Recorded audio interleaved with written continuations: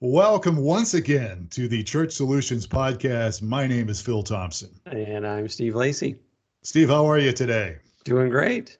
Well, we're going to talk today. Thank you. I didn't mean to cut you off there, but uh, we're we're we're a tech company that that works with churches and ministries, and and we help people with tech, but we do other things. And one of the things we're going to talk about today is one of my favorite subjects. I know it's not yours, Steve, but mine is coffee. Oh, I love okay. coffee.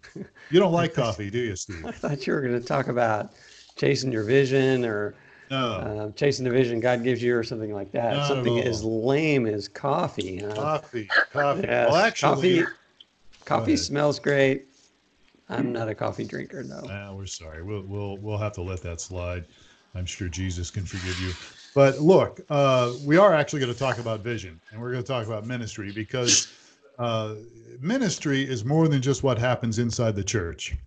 And uh, we have a guest today who has a vision to uh, to reach people and help connect people and help bring healing to people, and he's doing it through a wait for it coffee ministry and his name is Jared Wright. Jared, how are you? I'm doing amazing. Thank you. All right. It's good to have you here. Thanks so much. Now, Jared is the founder of a uh, place here in Tucson, Arizona, which is where we hail from, and it's called Blessed Grounds. And it's a coffee. What? what how do you? What, what exactly is it? Because it's not just a coffee shop. You actually yeah. do. Tell we us actually what you actually roast do. the coffee. So we're an actual coffee roasting facility. So we do have a cafe, so people can come in and uh, they can order their favorite extraction method or drink, and we actually have a roasting facility. Wow. Okay. So uh, let's talk a little bit about how this whole thing got going, because you're you're a businessman. Uh, you've been involved in businesses. You're involved in your local church. What church do you go to? Currently, I'm going to Victory Worship Center. Okay. Currently, so do you move around quite a bit? now kidding. with the coffee, actually, the Lord does. He has me go into different churches because we just established the relationships. Okay. Uh, really, that are in their business. Uh, okay, I'm giving you a hard time. All right, so so tell us a little bit about this, and and and and tell us how it got started and how it's a ministry to you.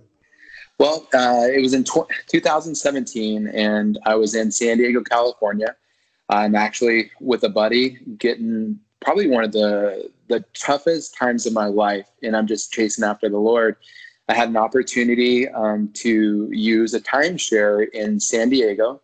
Um, it was perfect opportunity, and it worked as a sabbatical. I was able to leave work and really just press into the Lord. Um, we're driving. It was Mission Beach area, and all of a sudden, I go into a vision, an open vision, while I'm driving, mind you. I don't know if it happened in a matter of a minute, seconds, but instantly I saw basically, and let me just preface I loved coffee at this time. I didn't know much about coffee. I would have never started my own business because I know the inherent costs involved. So I see this vision of us praying over coffee beans, the beans providing healing for the nations. I inherently knew things instantly. He gave me Ephesians 3:20, which says, "All glory to God who is able, through His mighty power work within us, accomplish infinitely more than we might ever ask or ever think." I saw two faces, and one face I instantly knew. I knew both of the people. One I knew was creativity, is how the Lord showed me. The other I saw as more of a partner. And then I knew that people were going to love working for the company. It was going to be a kingdom business. I knew right away that this business, I saw basically the only way I can describe it is lines going across the United States. I knew that it was going to turn into coffee shops around the country. And I knew that if it was going to be the Lord's, it had to be the best. So these are things that I instantly and inherently knew. And at that moment, that was, I believe, July 2017. After seeing this vision, I got back to Tucson the gentleman that actually I saw his creativity, I told him about it. He didn't think I was crazy, but he instantly came up with the name Blessed Grounds. The other gentleman that I saw the face of, and I knew he was kind of a partner, um, I told about it. Once again, he got excited and has been very supportive ever since the inception. But I didn't do anything with it. So at that time, I kind of sat on it. I didn't know really what to do, kind of drug my feet and at Victory Worship Center, I'm sitting in a service. It was a Wednesday night service, and I'm in the overflow in the older building, so I can kind of see, you know, everybody downstairs. And there was a gentleman by the name of Jake Hamilton that came in, and he's an amazing guy that really is tatted up, and he's just a rocker. You know, he's got long hair like you, and uh, he just loved to rock out and just just love on the Lord. And he'd go into these Muslim countries and just play, just play and worship the Lord, and people would come to, to know the Lord. Well, anyways, he's up there and he's talking, and he says, you know, I'm kind of a geek. When I want to be with the Lord, I go to Disneyland because he lived in the, the Anaheim area. And he would go and sit outside of the castle. And one day, the Lord, and just journal and talk to the Lord. One day, the Lord got his attention, highlighted the castle, and he looked up and he says, I gave this to one of my children first. And he says, What does that even mean, Lord? And he says, How many of you ever got a dream or a vision for something inventive, like create creative, and you didn't do anything with it and it came to be? And all these hands rose up and he says, Okay, keep them up. And he says, Look around. So I'm on the overflow and I'm looking at all these hands up. Instantly, the conviction in my heart when the Lord gave me this vision about coffee. And at that moment, I said, Lord, whatever it takes, I'll do whatever it takes.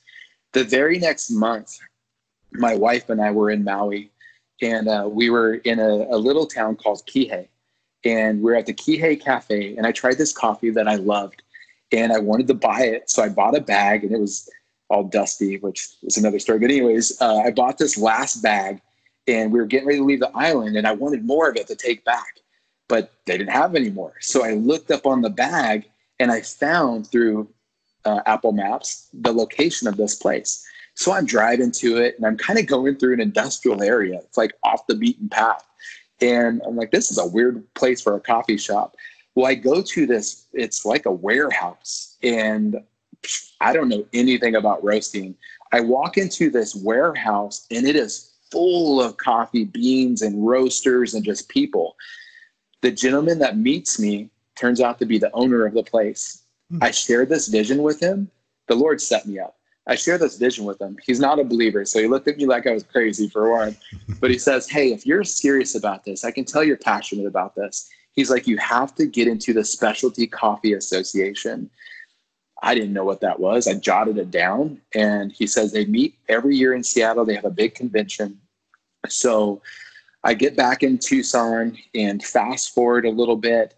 Next thing I know, I'm researching. The Lord does he didn't let me sit on things very long. I'm research, researching specialty coffee. And I find out there's like three places in the United States that you can actually take classes. One of them's in Phoenix.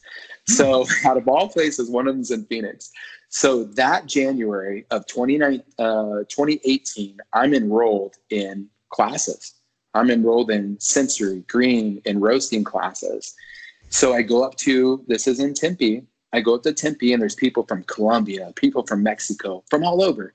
And they said, you know, the guy that's teaching, he is world renowned. He's in the top 1% of what he does. That's why we flew all the way over here to be trained by him. It's amazing. So through the class, I became friends with the instructor and I explained the vision to him once again, he's not a believer. So he looked at me like I was crazy. But he says, you know what? If you're serious about this, let me know and I would like to help you out. Fast forward, we uh, hired him as a consultant. The Lord showed me that here's a gentleman that's been doing this for 30 years. He is literally in the top 1% of what he does in the world. He actually is an instructor for the Specialty Coffee Association, but people hire him Dubai, all over all over the place, all over the United States. He, he travels and he's a consultant for people from not only the farming, the millworks, the extraction, the roasting. So we bring him in. The Lord showed me that his ceiling is going to be our floor. So he trained my roaster, who's another just amazing testimony that the fact that he's even here. Um, my roaster, myself, and sure enough, in the matter of about five months, we are now we have one of the largest accounts here in Tucson, which is Intuit. It's a, uh, about a thousand employees. We're doing almost a couple hundred pounds of coffee a month for them. We are in about eight different churches. We're in a grocery store. We've linked up with the largest vending service company in the nation, also right here in Tucson, another vending service company, and we're in a bunch of businesses and we're growing. Wow, wow. that's amazing. So um, it reminds me of a, a story. I have a good friend that's a pastor, and and the message that you were listening to back at Victory was how many people have these ideas, and and, and then you later saw it come to be. Um, that's a challenge for just about everyone because this pastor said, I got this great idea, Steve. He goes, Here's this great idea. He says, You need to go and build it and do it, and I'll split all the income with you. And I am just laughing because you know people think that the vision or the idea is is actually worth some you know worth half of a business and and it takes the you know being you know an entrepreneur myself it takes the the diligence to to take the next step. So, I mean, it took you a couple of years to get motivated to take the next step, but you took it's not that just next step; it's the next step after that. What's what's you know what was the key to you know what, not letting this fade to you know a vision in the past? Steve, you know it's it's amazing. And just that little quick synopsis, that's not even the best part. This is how amazing our God is. So when he showed me praying over the beans and the beans providing healing for the nations, we are currently right now through direct trade. Uh, we are blessing over 13 small farms in over 10 different countries, three different continents. So the farmers are living in abject poverty. I, sent my general manager to Honduras in February, and he was immersed in the coffee culture for a little over a week. And he got to meet the farmers, but he got to see these surrounding farms and how they're that's the only work that they actually have. And they're literally feeding their families' dogs to survive. So we are able through special importers able to do something that's better in fair trade. It's called direct trade. We're circumventing the commodities market and we're being able to bless the farmers with over four to five times what they would make on the open market. We get a better quality bean because once again, if it's going to be Lord's, it has to be the best. Coffee is graded like wine. So wine is graded in points by a sommelier. Coffee is graded in points as well. Anything that is 79 and below is considered commercial grade. Anything that is 80 and above is specialty grade everything that we're dealing with is between the, the 83 and 86 currently.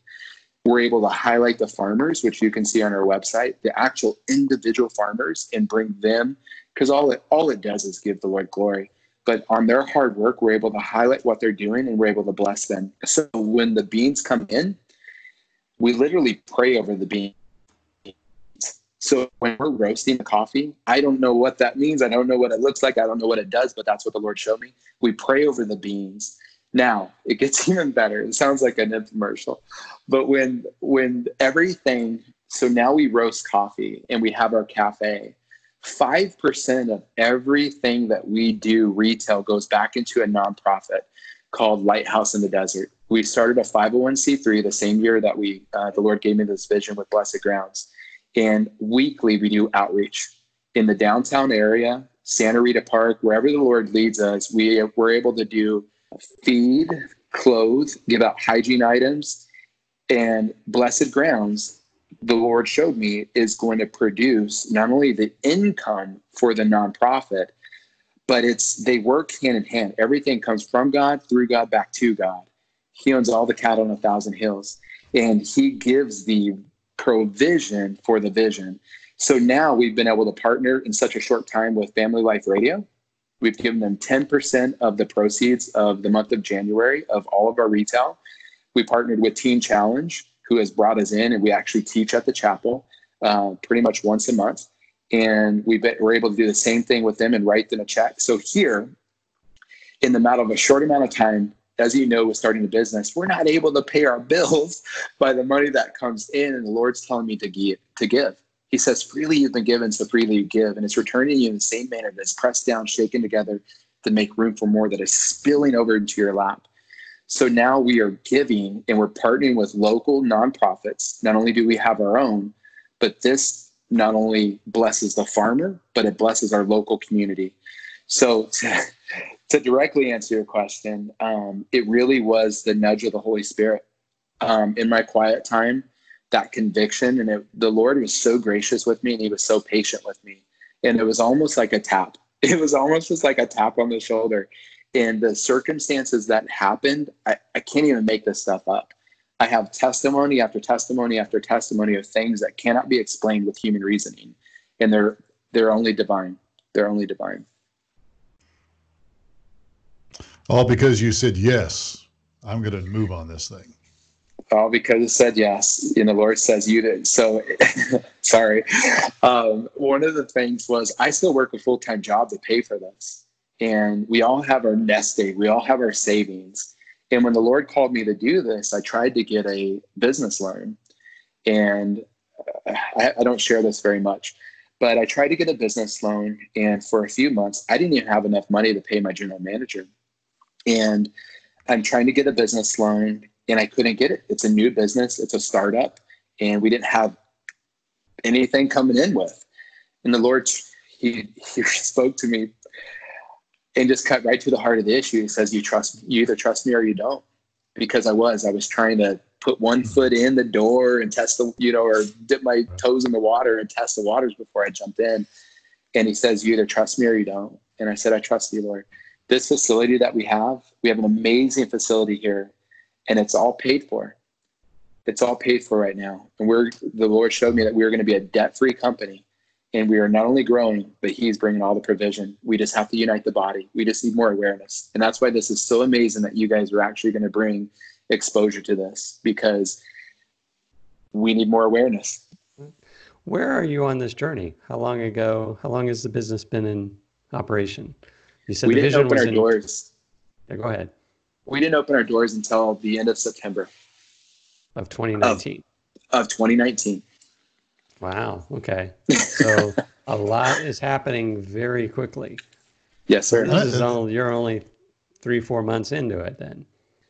Um, September, October, five, November. Yeah. It's about five. Yeah. about five months. Uh, and it's a pretty good sized facility. I mean, again, you've got you roast the beans there. How, how large of a facility do you have? How, how many square feet? It seems we're looking at video here, and you were showing us another area earlier. So you got yes. a pretty good sized area there. Yeah, the Lord really took care of us because um, we're about, about 1,600 square feet. And when I when I was searching, as you can imagine, we all have ideas. We may make many plans, but the Lord determines our steps. I wanted to be off of Oracle. I wanted to be in front of everybody. Yeah. And then when I got the uh, the pricing, I mean, it just was not feasible. So the Lord led us to this. We probably looked at over 70 different places, and this place has just been amazing. It's in a, a unique location. People kind of have to come out of our way. We're Grant in the freeway. Right. And but our roasting facility has been amazing. Um, and just to to mention, we are now open seven days a week. We were mm-hmm. only able to open Monday through Friday, and then all of a sudden, the Lord put on my heart, we opened Saturdays, and that became our busiest day. And then I struggled because he had shown me this was going to be like Chick fil A. It was surreptitiously him. When you come in, you'll see on the door it says taste and see. We know that Psalm 34a says taste and see that the Lord is good. Well, when people come in, they don't know the Lord. They come in and they they it's not in your face, but they say, man, the energy is really good in here. And I just smile and I know to myself, it's just Jesus. You know, it's Jesus, it's the Lord. And we're now we're open Sundays. This is going to be our very um, this coming Sunday will be our fourth Sunday open, and we do live acoustic music in the roasting facility. So we open it up to the public. They can come in. They can either hang out in the cafe area or they can drift back to the roasting facility and we have worship leaders from all over the uh, Tucson. They're signing up, and they come in and they do acoustic worship, and people can just be with the Lord. So, is this um, so? People can obviously come to the facility. Do you sell online too? Yes. So right now, the Lord showed me that this was going to spread via YouTube. We put out a YouTube video, and I've had orders from all over the United States, including Alaska. We've had people try and order from Canada we're not able to ship to Canada yet. And as far as Russia, Um, through social media, we've had people post uh, to our social media from Israel, from Russia with our coffee. And the Lord is just, He's expanding this. There's nothing that we're doing marketing wise, um, and we're getting orders from all over the United States. So, so speaking of online, let, let me jump in here, Steve. Steve and I have been doing this for years, and we still step on each other when we're talking. uh, it's just our thing. It's our shtick. Uh, blessedgrounds.com. That what I wanted to say, and you can get back in here, Steve. But what I wanted to say was blessedgrounds.com. That's the website and there's yes. lots of good information on there. There's even some some products you can buy besides coffee and some other things. But go ahead, Steve. I'm sorry I stepped on. That's you said we've been working together so long that you know what I'm thinking here. So that's right. That's exactly where I was going. So I was trying to find out where can people that so, are listening find more information and buy online. So so blessedgrounds.com, and then also it, that's probably the way to to contact you, right? Uh, Jared, because uh, you have somewhere to contact people. I'm looking at your website right now. Uh, is there a contact thing on here somewhere where people? There Absolutely. Be, right? It's got to be yes. something. I don't see it, but I'm sure it's here somewhere. Where is it at? So we oh, have an email. Yeah, yes, there's a phone number, and then we also have uh, a email on there as well, so people okay. can reach out to us because I, there may be some people listening to this podcast or watching this podcast, depending on what we're on YouTube as well.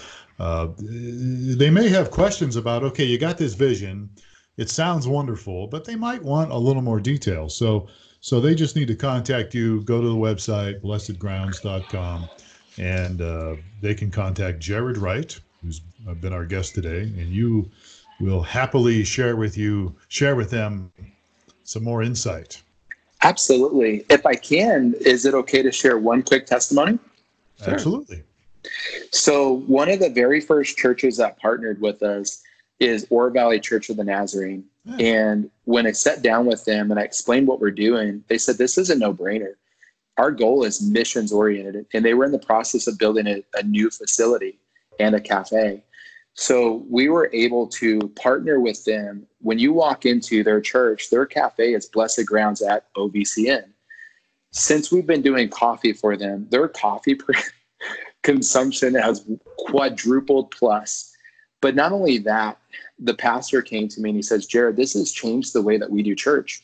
People are not, they're not just leaving after the service, they're hanging out, they're right. they're communing together, koinonia, fellowship and they're hanging out with each other.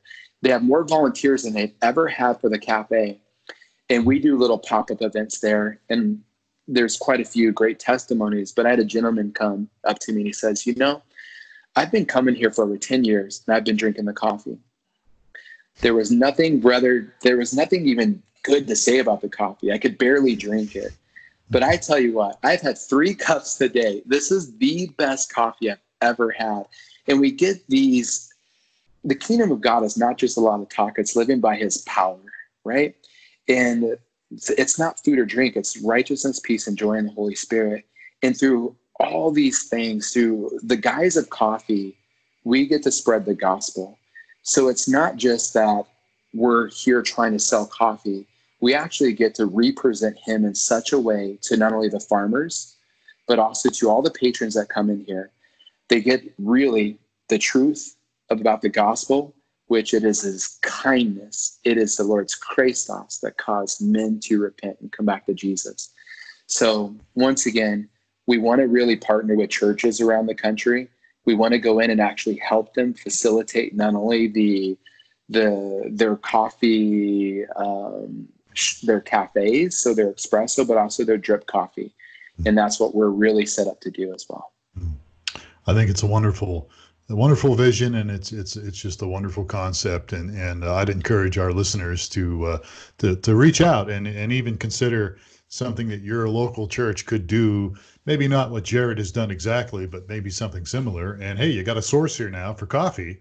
Yes. And I have not had your coffee, so I have to go check it out. I will. Definitely. I will definitely do that. What's your opinion on decaf?